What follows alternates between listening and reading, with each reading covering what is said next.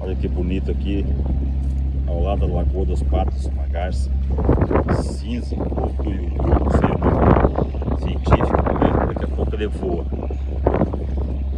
Na cidade da Lagoa dos Patos, bem próximo já, foi. Olha. Que voa, né?